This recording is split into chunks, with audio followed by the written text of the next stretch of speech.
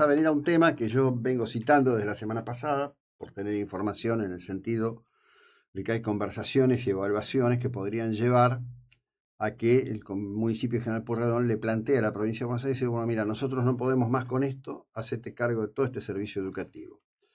Para conversar sobre esto, el potencial que esto tendría, en cualquier sentido que se lo quiera apreciar, a favor o en contra, está en línea Luis Di Stefano, que fue secretario de Educación del municipio General Pueyrredón, y llevó en la intendencia del doctor Carlos Fernando Arroyo un principio de búsqueda de ordenamiento administrativo y de recursos que fue parte de la piedra fundamental de la controversia sistemática y la oposición sistemática que el gremio municipal llevó contra el gobierno de Arroyo. Luis, buen día, ¿cómo te va?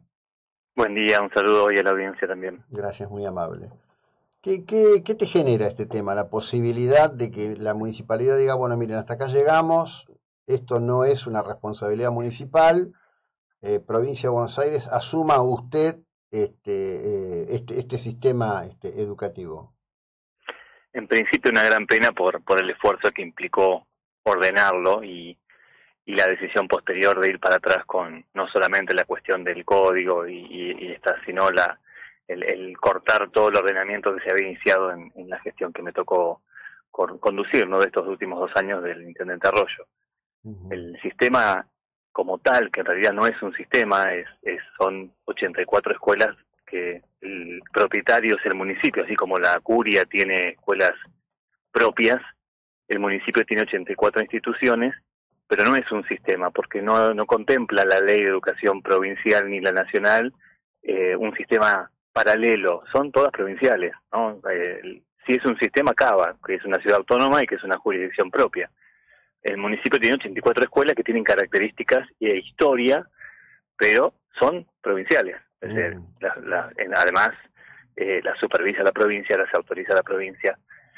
Es una, es una característica esta educación municipal que va a cumplir el próximo año 60 años y que nació como una decisión de, de poder tener jardines de infante en principio en los barrios a los que la provincia no llegaba. Mm mi primer contacto con, con, esta realidad de, la educación municipal se da más o menos en el 2006-2007, cuando era secretario de Asuntos Docentes, secretario de Jefatura, en las reuniones de la Unidad Educativa Distrital.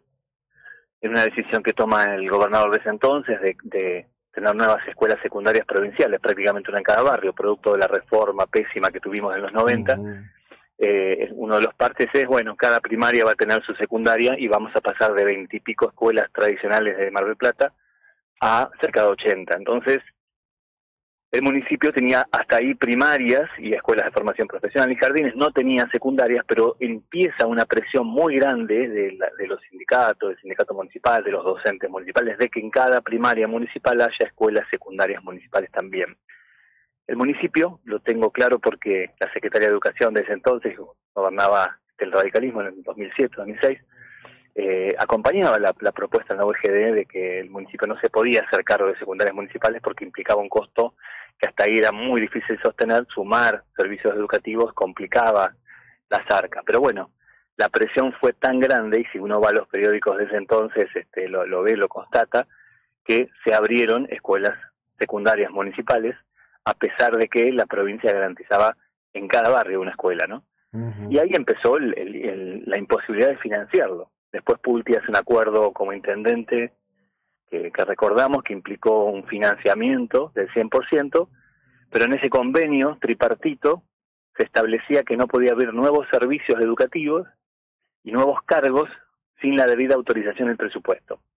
Durante la gestión de Pulti se crearon nuevas escuelas sin autorización. Digo, esto lo, lo, lo, he chequeado y lo hemos peleado para que se autoricen en el periodo en que estuve como, como secretario. Eso hizo que cada vez tenga menos financiamiento. El municipio, de ese 100% que había logrado positivamente Pulti con, el, con la Nación, en ese acuerdo con Cristina, eh, se fue perdiendo ese financiamiento por la creación de cargos y escuelas que funcionaron sin autorización por resolución.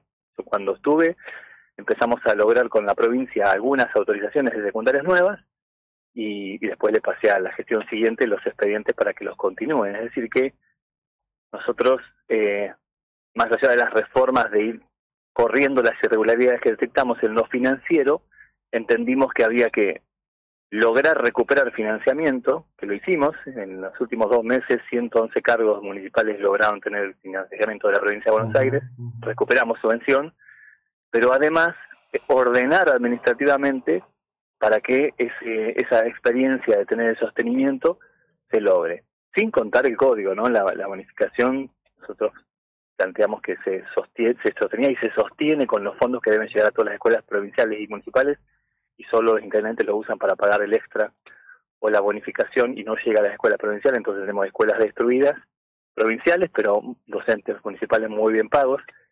Eh, para que tengas una idea de las cosas que he encontrado en ese tiempo, mm. las escuelas municipales tenían dos horas menos de clase que el resto de las escuelas privadas y provinciales de la ciudad.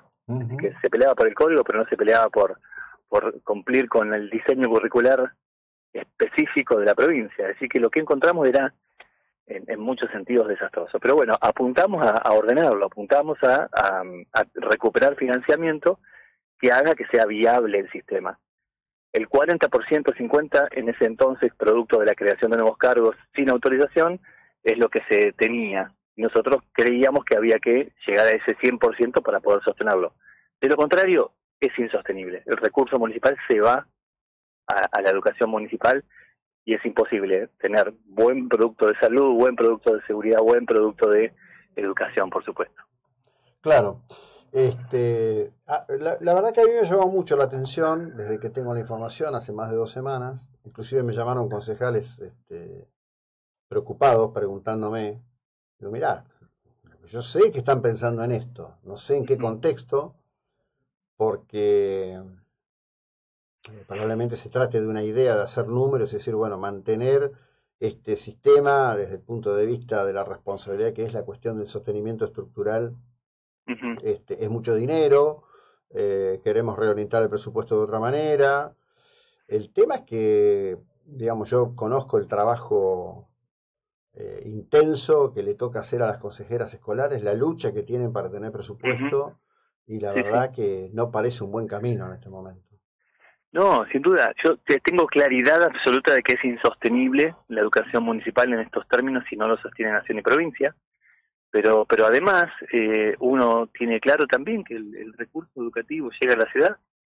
Para que tengan una proporción, el 95% lo recibe el municipio a través del Fondo de Financiamiento Educativo y el 5% el Consejo Escolar. El Consejo Escolar, las consejeras tienen 280 escuelas provinciales que deberían mm. sostener en infraestructura y el intendente o el municipio se queda con el 95% y eso lo destina a sueldo y tampoco alcanza. Es decir, que es absolutamente injusto que, que tengamos 280 escuelas en los estados que los tenemos, en las escuelas provinciales, y que el recurso que involucra el 95%, 93-95%, se lo queden para pagar exclusivamente los sueldos municipales porque no alcanza este, sostenerlo por las decisiones que el mismo, la misma gestión Montenegro ha tomado ¿no? en este tiempo.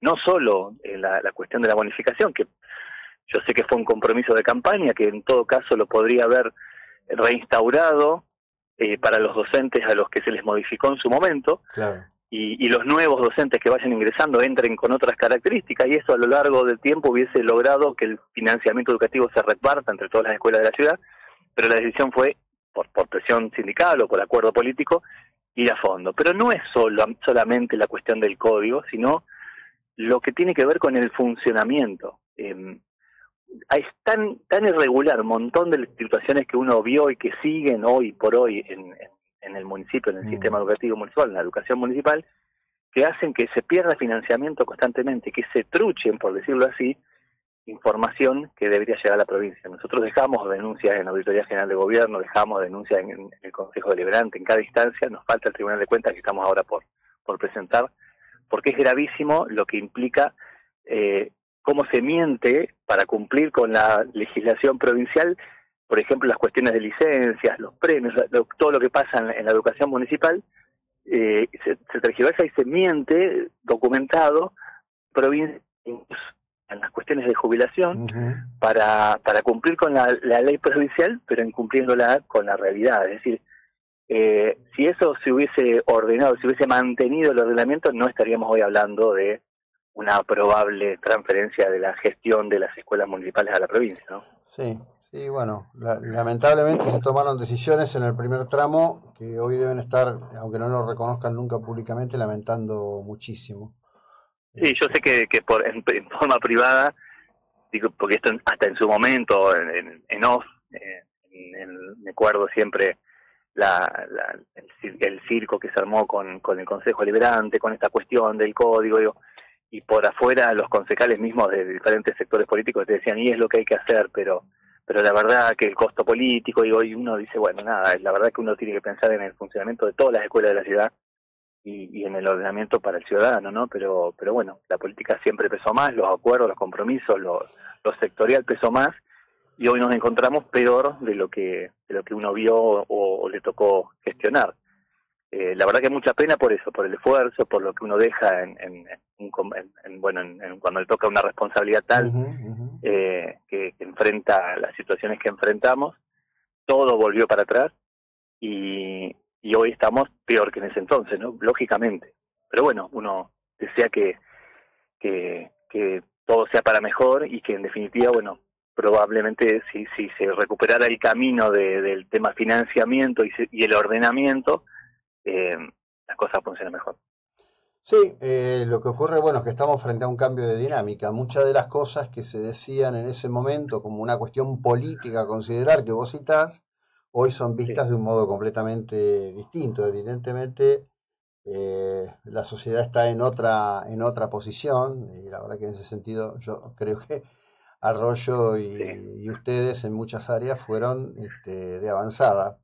Eh, sí, yo eh, creo que creo coincido en eso, que, la gente hoy ve, ve otra cosa y mm, sí me resulta difícil ver que, que en un momento en que el, justamente el próximo año esté por cumplir la educación municipal 60 años se tome una determinación en esa línea. No, no lo veo, veo muy tibio todos los aspectos que por lo menos tienen que ver con educación en decisiones que necesariamente hay que tomar.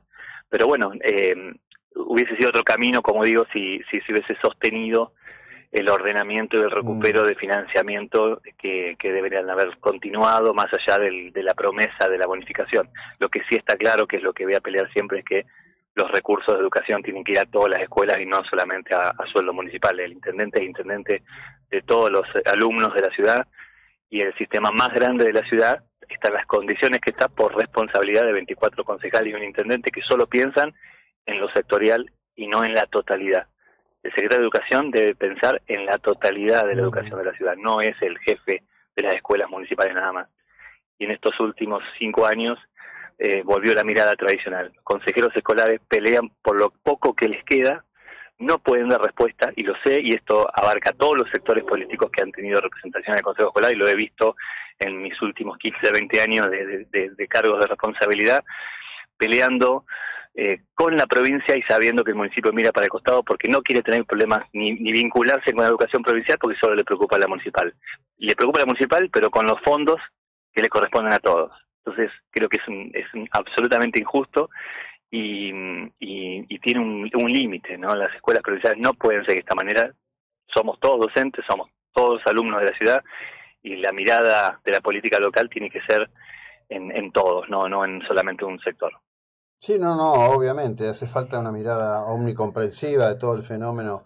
Mar del Plata tiene una, una dimensión, es decir, este, con, respeto a las localidades más chicas, no es que hay una, una escuela pública y una escuela confesional este, de régimen privado. Esto es otra cosa, este es un sistema muy, muy este, complejo, realmente muy complejo. Te agradezco como siempre por acompañarnos en, en esto de poder ilustrar del mejor modo posible la audiencia. Que tengas un buen día, Luis. Gracias. Igualmente a ustedes. Un saludo. Bueno, Luis Di Stefano, ex secretario de Educación, hablamos de estos temas siempre. De